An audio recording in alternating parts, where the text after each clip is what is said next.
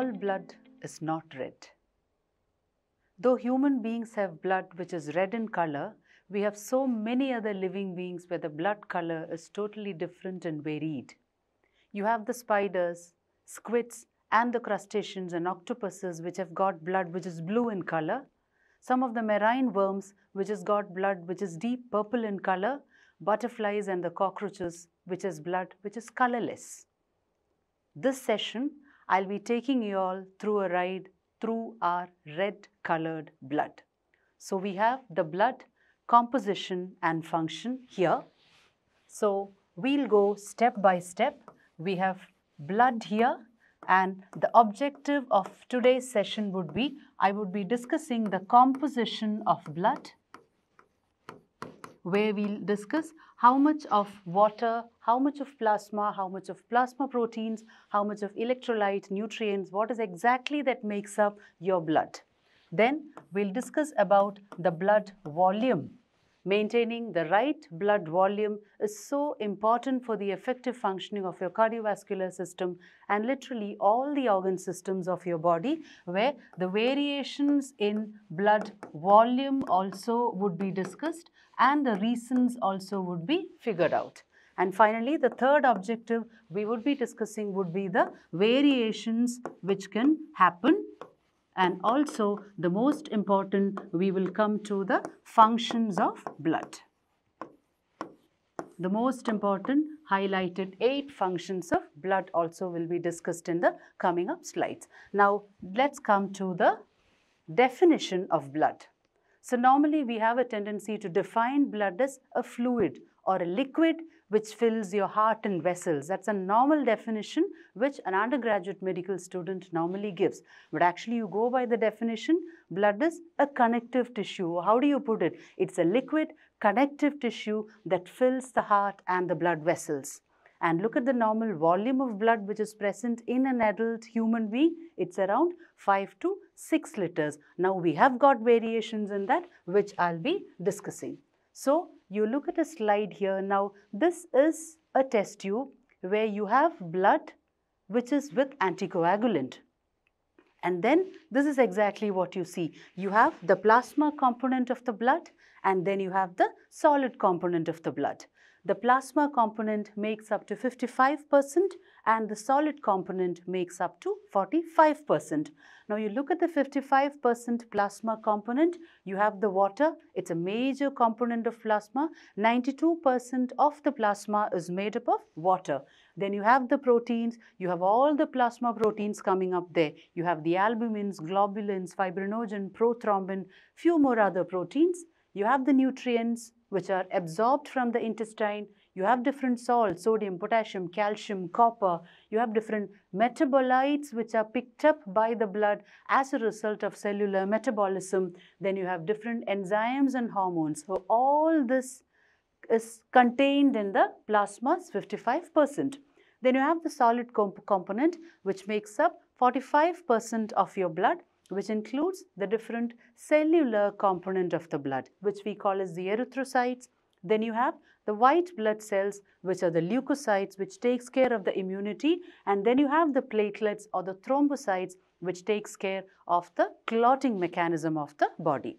Now, going to the detail about the blood, you can see that blood volume is calculated as 70 to 80 ml per kilogram body weight that one single sentence leads to you to an understanding that blood volume is related to the surface area.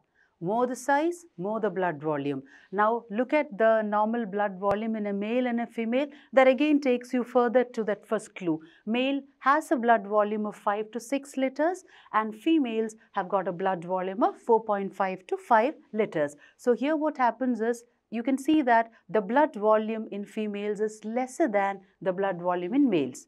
The reason is in males the oxygen demand is more because the muscle mass in male is more.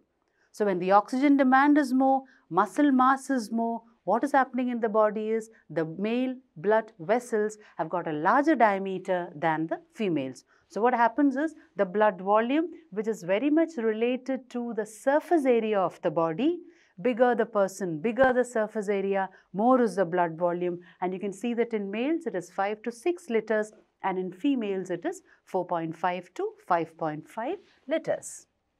Now coming to the functions. So you can see in the session that the blood functions have been discussed under eight headings. But please keep in mind, they, the functions have been numbered not according to the importance it doesn't mean that when the first function is respiratory function and the second is transport medium and the third or the fourth is immunity, it doesn't mean that the most important function is respiratory function, next important function is transport medium. No, all the eight functions listed down here are all equally important. So, coming to the first function, we have the respiratory function. Very simple. It transport oxygen from the lungs to the tissues and carbon dioxide from the tissues to the lungs. So what happens is for cellular metabolism to happen, oxygen is a very key essential ingredient. So when we inspire air into the lungs, oxygen is picked up by the hemoglobin in the blood. It will be delivered to each and every cells in your body and the oxygen is delivered at the tissue level cells utilize it for its metabolic processes and the end product of cellular metabolism, we have all kinds of uh, what you consider as a waste materials along with that carbon dioxide also is released by a cell after its metabolism.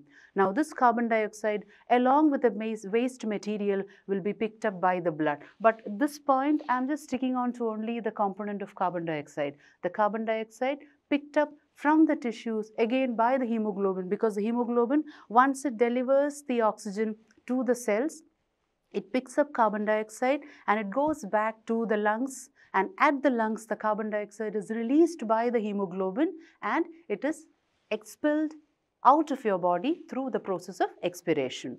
Now coming to the next point you have the transport medium.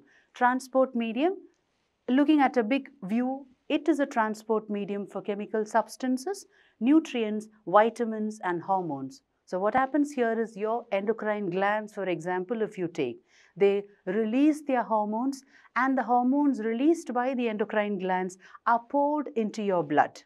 And it's this blood which takes this hormones all over your body, all through the circulation and it will be delivered to the target tissue where the particular hormone released by the endocrine gland needs to act. And you know that wherever the target organ, these hormones need to go and act, they would have receptors on them. So these hormones would go and bind there and bring about the further action. So it's very important here, the hormones released by the endocrine glands, how blood forms a transport medium. Either the hormones are transported free or the hormones are transported in combination with different carrier proteins. It could be the plasma proteins. There are so many ways. Then you have the vitamins and the nutrients. So whatever food intake food you take, digestion happens and from the stomach, from the intestine, all the nutrients and the vitamins get into your circulation and it's the blood which carries it and delivers it to the cells and the tissues where they are really essential for the cellular metabolism. Then you have different chemical substances. It could be neurotransmitters, so many chemical substances released by different organ systems in your body again is poured into the blood because blood is someone, it's a liquid connective tissue which is reaching each and every corner of your body and the aim is transport medium. It needs to transport all these substances to the cell because only then an effective cellular metabolism is going to happen. So it's been stated as the last two points, blood circulates and distributes to all the tissues of the body and then it regulates the nutrition, growth and metabolism of the tissues. Naturally, isn't it? When all the required contents for cellular metabolism is being delivered by the blood to the cells and the tissues, we come zero down to the last point. It takes care of the body's nutrition, growth and metabolism. Now, the third point, we have the temperature regulation. Now, a normal body temperature is regulated by the blood. So, what exactly happens here is, see, when cellular metabolism, the basal metabolic activity is happening in your body, naturally heat is generated. And this heat from the interior of the body needs to reach the surface of the body and it's from the surface the either the heat is going to be dissipated or it needs to be retained by the body. So now what is that way or how, how is the heat which is generated from the interior of the body is getting onto the surface of our body. That function is done by the blood. Have a look at the first point. The blood conducts heat from the interior of the body to the surface through the blood vessels. So the heat generated by cellular metabolism in the interior of the body first gets delivered to the blood vessels and it's these blood vessels which take it to the surface of your body. And then what happens? The two points tells you either if the body wants to retain that heat, then what needs to happen is vasoconstriction of the blood vessels should happen. Moment the blood vessels are vasoconstricted, then the body is trying to retain or preserve the heat which is generated from the interior of the body.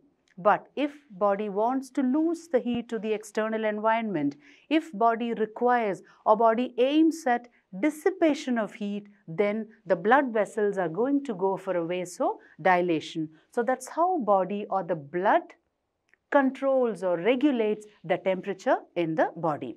Now coming to the fourth point, you have the excretory function.